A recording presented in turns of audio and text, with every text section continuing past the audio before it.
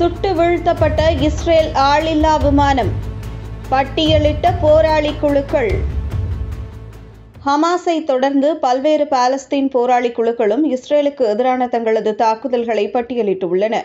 Palestine Islamic Jihad கட்சியின் இராணுவ பிரிவான அல் குத்ஸ் பிரிகேட்ஸ் அமைப்பு வெளியிட்டுள்ள செய்தியில் கான் யூனிஸ் அறிவியல் கல்லூரி அருகே குழுமியிருந்த இஸ்ரேல் படைகளை நோக்கி ஹெவி கேலிபர் மோர்டர் ஷெல்ஸ்கள் மூலம் பலத்த தாக்குதல் நடத்தியுள்ளதாக கூறியுள்ளனர். இஸ்ரேலின் கிசியோஃபிம் ராணுவ தளம் மீது பேடர் ஒன் ராக்கெட்டுகள் மூலம் தாக்குதல் நடத்தியதாக அந்த அமைப்பு கூறியுள்ளது. மேலும் மற்றொரு பாலஸ்தீன் விடுதலை குழுவான அல் முஜாஹிதீன் படைப்பிரிவு இஸ்ரேலின் ஹெர்மூஸ் நைன் ஹண்ட்ரட் ஆளில்லா விமானத்தை தரையிலிருந்து வான் இலக்குகளை தாக்கும் மிசல்கள் மூலம் தாக்கி அழித்ததாக கூறியுள்ளது. காசாவின் பல்வேறு பகுதிகளில் உள்ள இஸ்ரேலின் தற்காலிக கமாண்ட் சென்டர்கள் மீது மேலும் பல தாக்குதல்களை நடத்தியுள்ளதாக பாலஸ்தீன் போராளி குழுக்கள் அறிவித்துள்ளன.